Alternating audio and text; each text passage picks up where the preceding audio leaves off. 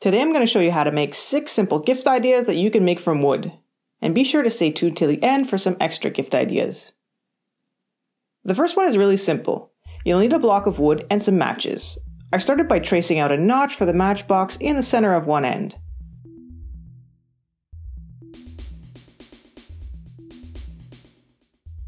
I then took it over to my table saw and used a simple jig to carve out the notch, adjusting my fence slightly until I hogged away all the material.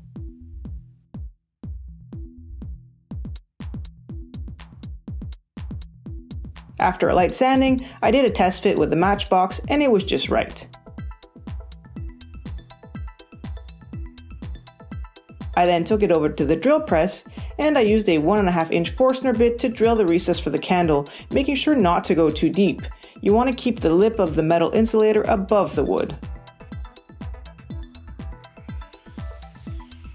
I then sanded and applied some oil finish, and that's all there is to it. Next up is a catch-all. I started with a thin backer board and taped the edges before applying two coats of paint. Now you can decorate this however you want, but I went with a sticker that I sealed with two coats of clear water-based poly.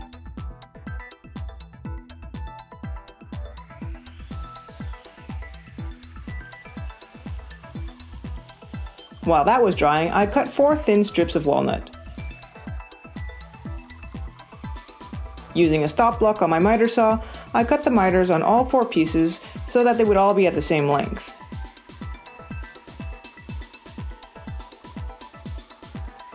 And because this is so small, I was able to simply use some painter's tape that I pre-applied, then just folded it all up and sealed the last corner with some more tape, making sure to wipe off all the excess glue while it was still wet.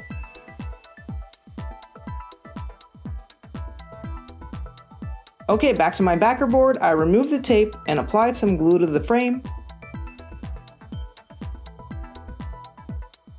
And used some spring clamps to hold it while it dried.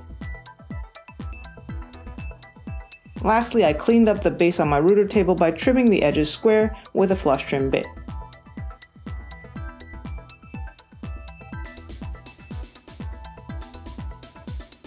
Next up is a blanket ladder, and this is one of my favorites. All you need are two 2x3s and a couple dowels. I started by marking my 2x3 at 5 feet long, then cut them to length. You'll notice my lumber is bluish and pretty rough looking, so I spent a lot of time sanding from a low grit progressively up to a higher grit to make them nice and smooth. I'm going to add 5 ladder rungs, the first at 6 inches and then every 12 inches. I found the center of the board and marked it with an awl.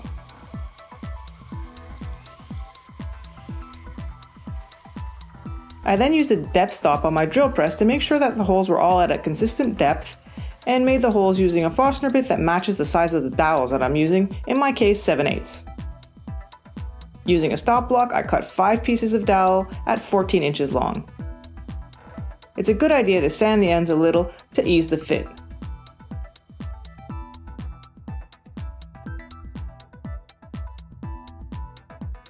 And the glue up is super simple if you start with one side, then fit it into the other side. Just make sure to have all your clamps ready.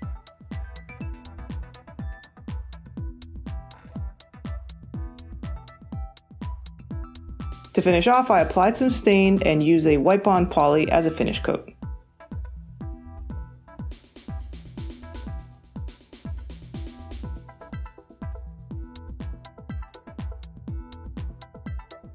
Next up is a simple yet elegant plywood ring. For this I'm using 3 quarter inch Baltic birch plywood.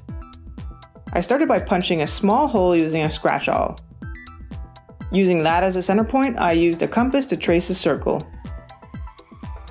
Then over at the drill press, I started by punching a hole all the way through the center using a small bit.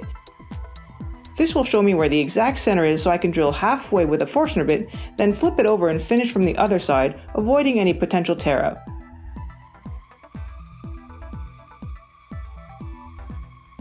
To shape the ring, I started by cutting down the block as close to the line as I could get before taking it over to my sander and sanding it right up to the line all around.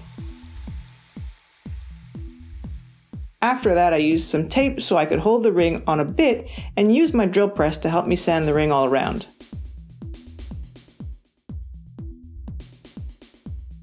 I progressively moved to finer grit paper and made sure to round the outer edges as I went.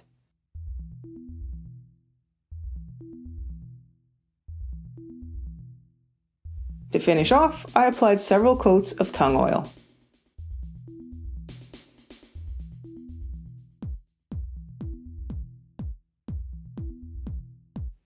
Alright, next up is a plywood pencil holder.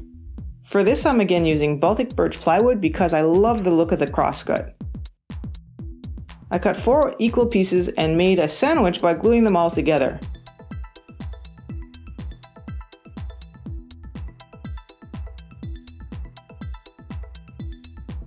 After the block was dry, I used a chisel to clean off some of the dried glue before running it through my joiner to square up the faces and I did this on both sides. You could just as well use a planer. I then squared off the end using my miter saw and made a first cut of a block that was nice and square.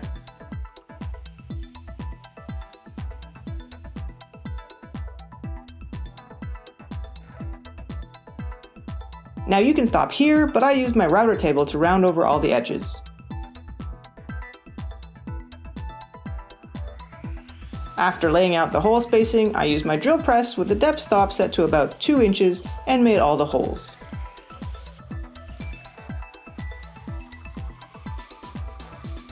All that's left is a little sanding and a few coats of Wipe-On Poly to finish.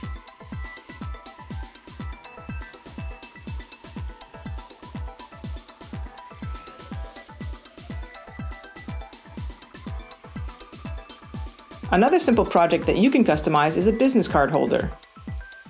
I started by cutting up a few scraps and arranged them into a pattern that I liked.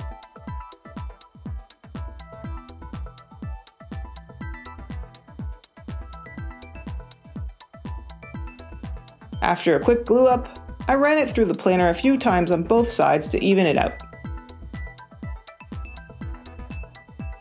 I then squared the ends and cut a few randomly sized blocks. Over at the table saw, I tilted the blade just slightly, maybe 5 or 10 degrees. I then ran the block through several times, slightly adjusting my fence at each pass, in order to make a thin, shallow groove.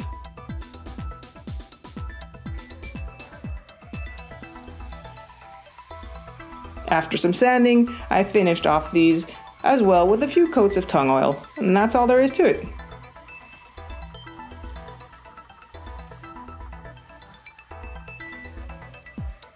Hey, I hope you enjoyed this video and I hope it sparked some ideas for gifts that you could make yourself. Stay tuned for a few more ideas coming up from my previous videos, and if you have any other ideas, be sure to leave those in the comments below. Until next time, thanks for watching.